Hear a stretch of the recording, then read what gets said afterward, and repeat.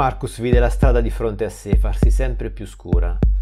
Il cuore tambureggiava nel suo petto senza sosta mentre cercava di rimanere concentrato e lucido, con scarsi risultati.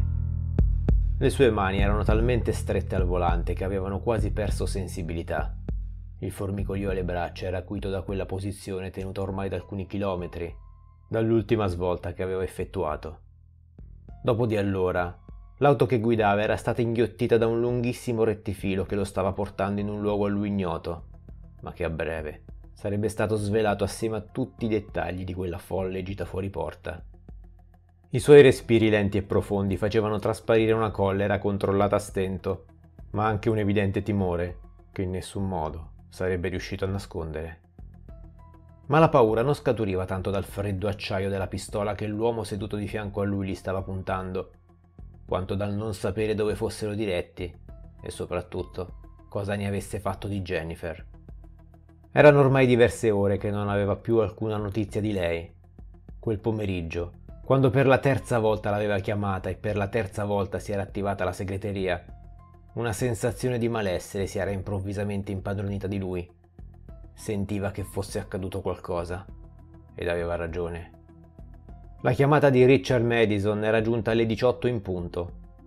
Non sapeva come avesse avuto il suo numero di telefono, ma Madison era un uomo dalle mille risorse e la cosa non lo stupì. Così come capì immediatamente che quella chiamata fosse da collegare alle mancate risposte di Jennifer. Era rimasto in silenzio attendendo che gli desse delle spiegazioni, ma invano. Poi lo aveva insultato, intimandogli di dirgli cosa volesse da lui e minacciando che lo avrebbe ucciso se soltanto gli avesse torto un capello. La risata di Richard Madison però mise subito in chiaro che Marcus non fosse nelle condizioni di minacciare nessuno. E lui lo sapeva, ma trattenere la rabbia non era mai stata una delle sue doti migliori. Aveva respirato profondamente, aspettando una qualsiasi parola. Attimi di tensione che nella sua testa durarono un'eternità, fino al momento in cui Madison aveva rotto finalmente quel silenzio sadico con una semplice richiesta. Caro Marcus, Dobbiamo andare a fare un giro. Io e te soli. È così che il loro viaggio aveva avuto inizio. Recandosi all'appuntamento di fronte al Cosmopolitan Hotel, poco lontano dal municipio centrale, Marcus sapeva che avrebbe corso dei rischi enormi. La sua stessa vita sarebbe stata in gioco, ma rispettò scrupolosamente le istruzioni impartitegli perché quella di Jennifer era nelle sue mani. Ammesso che non fosse già troppo tardi. Ma questo Marcus non poteva saperlo, quindi semplicemente obbedì. Si recò solo sul posto e dall'orario stabilito. Niente amici né polizia ovviamente. Madison era stato molto chiaro al telefono. Se tieni a lei, e so che ci tieni, farai come ti dico. Quando Marcus vide una Chevrolet Camaro accostare lentamente proprio di fronte a lui, capì che il momento era arrivato. Nessuno uscì dal lato del passeggero, ma il ghigno di Madison fu ben visibile dal finestrino laterale. Quello che doveva essere uno dei suoi numerosi tirapiedi scese dall'altra parte. Lo perquisì sequestrandogli il cellulare ed appurato che non avesse armi, registratori o altre cose strane addosso. Gli lanciò uno sguardo truce rivolgendogli una sola parola, che assomigliava molto ad un ordine. Guida! E così Marcus si era messo al volante lasciando quell'energumeno sul marciapiede. L'uomo li guardò allontanarsi lungo la Fairgold Avenue fino a quando l'auto sparì dalla sua vista. Non appena sedutosi sul lato del guidatore, Marcus aveva fatto subito la conoscenza della beretta 92 di Madison. Una precauzione doverosa, tanto per assicurarsi che non facesse scherzi ed eseguisse alla lettera le sue indicazioni, che furono del tutto simili a quelle del suo tirapiedi. Poche svolte prima di imboccare la provinciale 86 che proseguiva per diversi chilometri fino al confine, ma non erano diretti fuori dallo Stato. Lungo quella sconfinata distesa di asfalto, circondata da una fitta vegetazione su entrambi i lati, c'era un punto preciso dove si sarebbero fermati. E Marcus lo comprese quando attraverso la fioca luce dei fari che tentavano disperatamente di squarciare l'oscurità tutto intorno, vide un'auto parcheggiata sul lato della strada. Le parole di Madison furono immediate e non giunsero inaspettate. Accosta qui. Scesero entrambi dalla Camaro e Marcus si guardò intorno, per quanto l'oscurità glielo consentisse. Vide altri due scagnozzi di Madison, uno dei quali era seduto sul sedile posteriore intento a cambiarsi pantaloni e scarpe. L'altro lo aveva già fatto, dal momento che vicino all'auto c'erano degli indumenti sporchi di terra ed una pala che Marcus fissò intensamente con un brivido lungo la schiena. Erano stati probabilmente loro a chiamare Madison durante il tragitto, una telefonata che aveva interrotto un silenzio fatto di tensione e paura. Tutto fatto?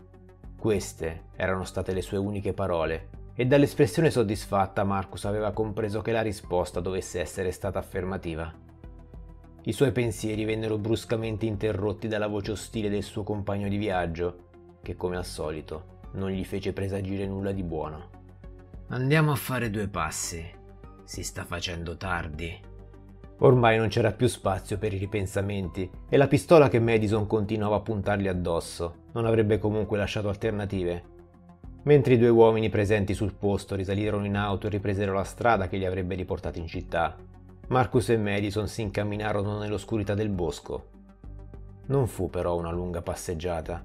Ben presto si ritrovarono in un'area non molto estesa dove la vegetazione era meno fitta e Marcus poté intravedere qualcosa nel buio profondo della macchia, che però divenne chiaro soltanto quando l'uomo al suo fianco afferrò una torcia lasciata a terra ed illuminò lo spazio davanti a loro. Marcus trasalì. C'erano sei croci a poca distanza l'una dall'altra e di fronte ad esse terra smossa a suggellare l'orrore di un quadro inaspettato. Cosa diavolo significa? Il suo sguardo trafisse Madison che nel frattempo aveva riposto la pistola e con estrema calma, facendo ondeggiare la torcia, si era accesa una sigaretta, respirandola come fosse la prima che fumava da anni.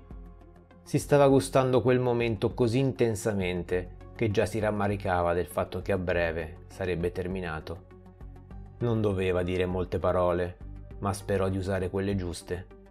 D'altronde era uno degli uomini più ricchi e potenti della città ed il solo pensiero che un inutile Don Giovanni si fosse sollazzato per mesi con sua moglie Jennifer lo mandava fuori di testa. Aveva scoperto la loro relazione qualche settimana prima ed il suo unico pensiero era stato di farlo fuori in qualche modo. Un uomo come lui, con i suoi agganci e le sue protezioni, non avrebbe avuto alcun problema nel far sparire un maestro di tennis da quattro soldi. Alla punizione per sua moglie avrebbe pensato poi ma attraverso i suoi canali informativi e due dei migliori investigatori privati su piazza, aveva scoperto una cosa ancora più sconvolgente. Non si trattava di sesso, trasgressione o divertimento. No, i due piccioncini erano davvero innamorati e questo era ancora più intollerabile. La morte sarebbe stata una soluzione troppo immediata e priva della poesia che un così grande amore avrebbe meritato.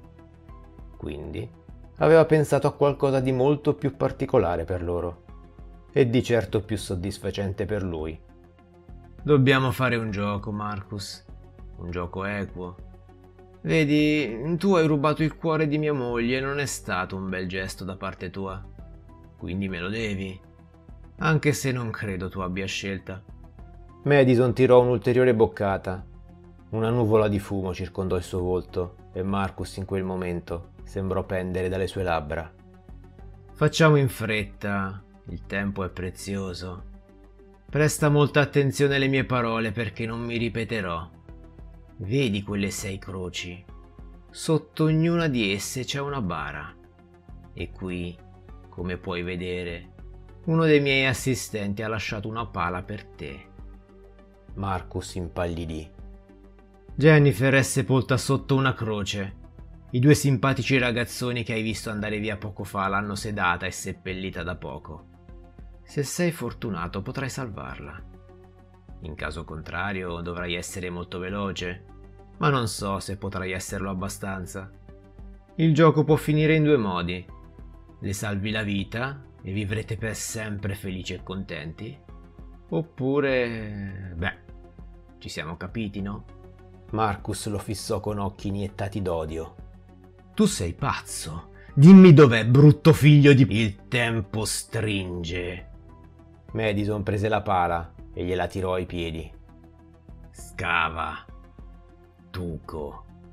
Per un attimo Marcus fu tentato di spaccargli il cranio e rimanere a guardare il cervello colare dalla ferita, ma se Jennifer era davvero stata seppellita sotto una di quelle croci, gli rimaneva pochissimo tempo.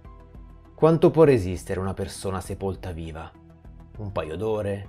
Magari di più?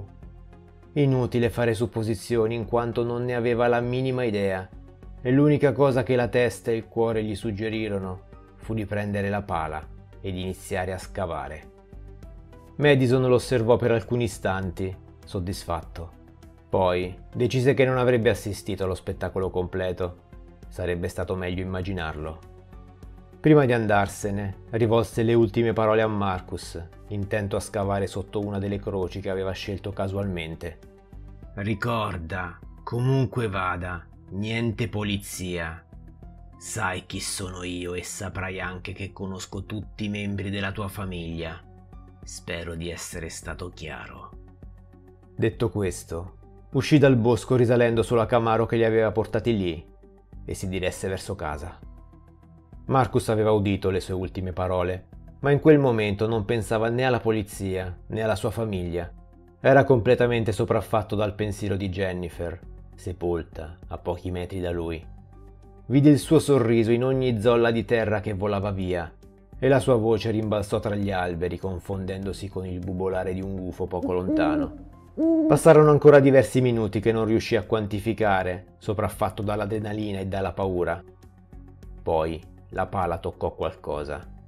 Ben presto la bara sotto la croce fu esposta e Marcus l'aprì a fatica, infilando la parte anteriore dell'attrezzo nella fessura e facendo leva. Il vuoto all'interno fu riempito dalla sua disperazione ansimante, spostò lo sguardo alla sua destra, dove altre croci lo attendevano.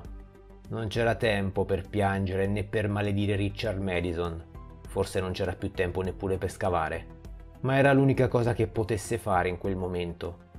E Marcus scavò.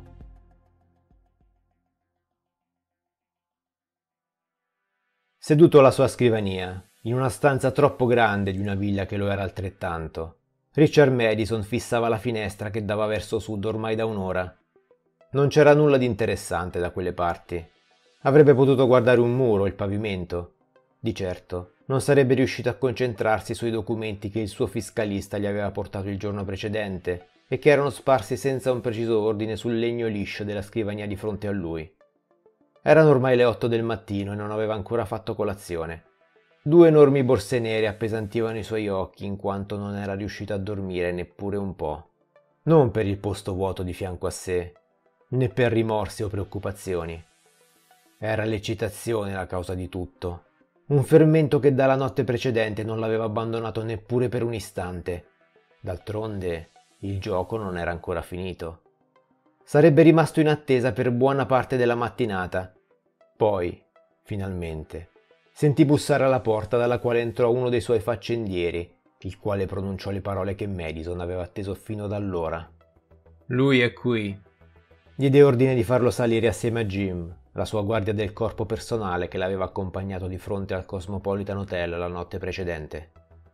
Quando Marcus entrò nella stanza, Madison lo scrutò dalla testa ai piedi vedendolo ridotto esattamente come aveva immaginato e sperato distrutto dalla fatica e rabbioso come una belva appena uscita dalla gabbia, talmente sporco di terra da far sembrare che fosse stato lui ad essere sepolto vivo e senza bara.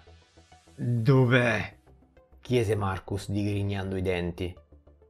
Madison esplose in una risata fragorosa. Non aveva dubitato neppure per un istante che avrebbe scavato tutte e sei le fosse ed aperto ogni singola bara.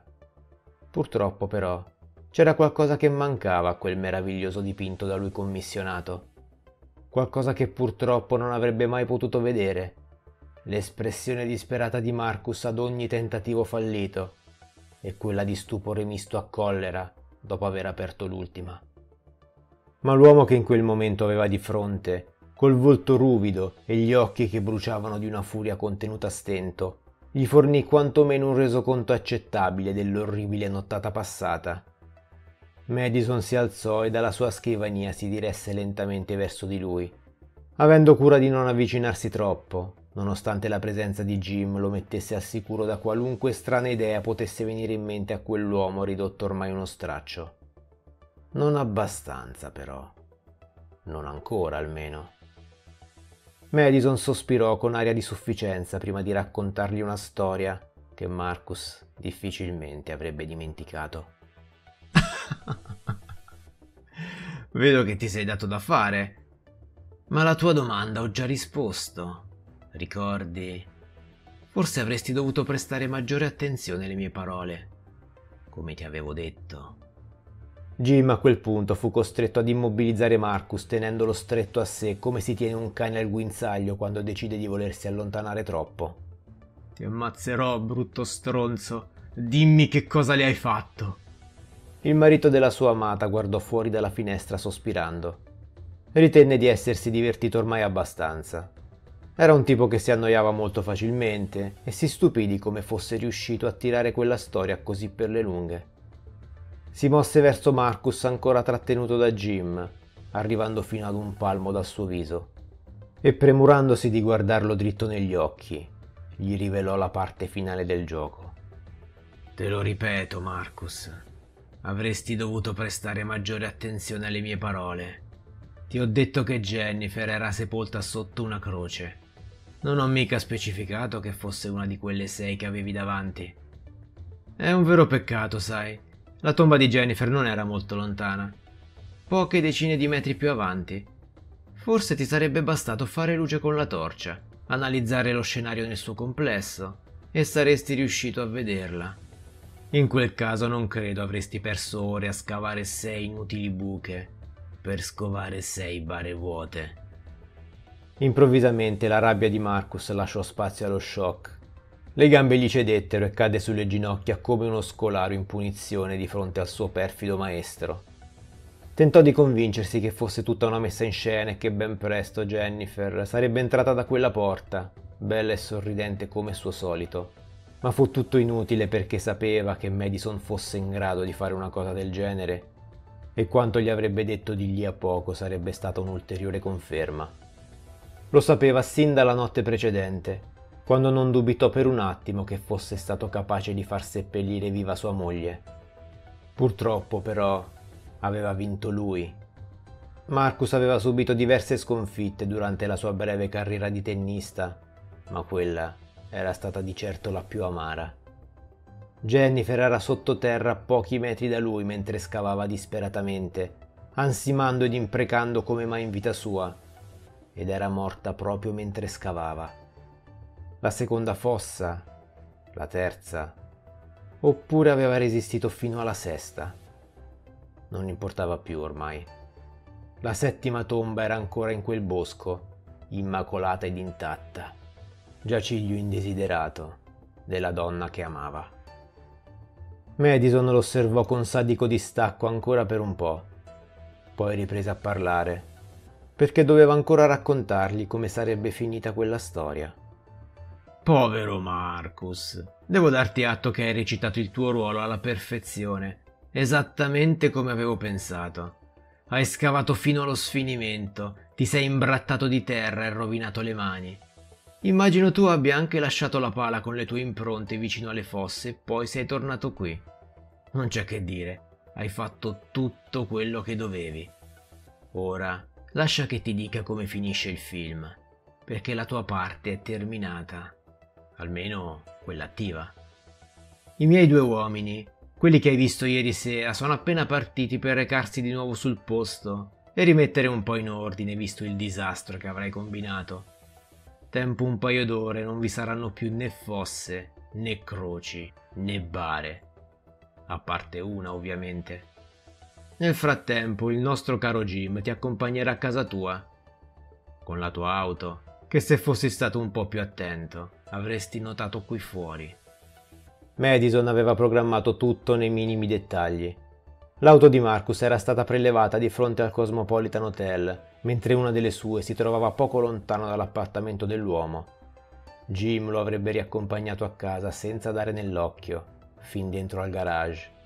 Lì Avrebbe poi inscenato il suicidio di Marcus, tornando poi alla villa di Madison con l'auto in dotazione che avrebbe recuperato. Sarebbe stato un caso molto semplice per la polizia, un classico se vogliamo.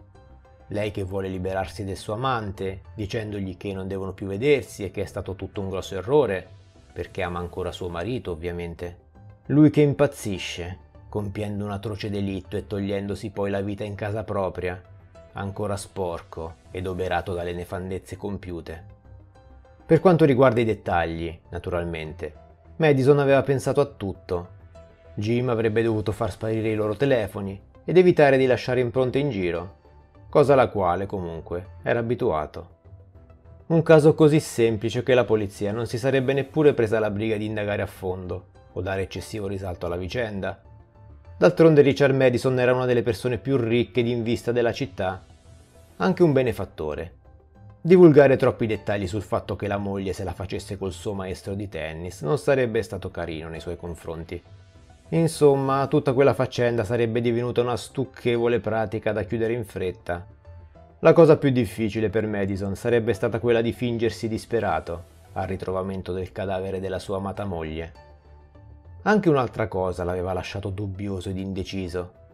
La modalità con la quale Marcus avrebbe dovuto togliersi la vita. Si sarebbe riempito di barbiturici oppure impiccato in bagno. Tante idee gli erano passate per la testa, ma alla fine si era reso conto che una valesse l'altra, perché purtroppo non avrebbe potuto assistere alla scena. E per questo invidiava molto Jim. Cosa non si fa per amore? Furono queste le parole con le quali Madison congedò il suo ospite, che venne trascinato via dal suo studio come un sacco di grano. Prima di essere allontanato bofonchiò qualcosa di non molto comprensibile. Non rinuncerò ce la farò? O più probabilmente io ti ucciderò. Ma Madison non gli chiese di ripeterlo. Ormai il suo fastidio era più concentrato sulla moquette da ripulire che non su quella vicenda. Prese la bottiglia di scotch che teneva sulla scrivania e se ne versò un bicchiere, avvicinandosi alla finestra dalla quale vide l'auto di Marcus uscire dal cancello ed allontanarsi dalla sua proprietà. Il Lagavulin invecchiato 16 anni aveva un sapore quasi dolciastro quella mattina. Lo gustò fino in fondo prima di chiamare la cucina per farsi portare finalmente la colazione e rimettersi al tavolo, dove lo attendeva una copiosa pila di documenti fiscali. Gli sarebbero serviti per ingannare il tempo, prima di chiamare la polizia e denunciare la scomparsa di sua moglie. Quella notte non era rientrata in casa, ed era un fatto piuttosto inusuale per lei. Nessuna delle sue amiche contattate in mattinata l'aveva vista, né sapeva nulla di dove potesse essersi cacciata. Chissà, forse aveva deciso di prolungare le sue lezioni private. Non c'era molto da stare tranquilli, perché anche se non può sembrare, il tennis è uno sport molto pericoloso.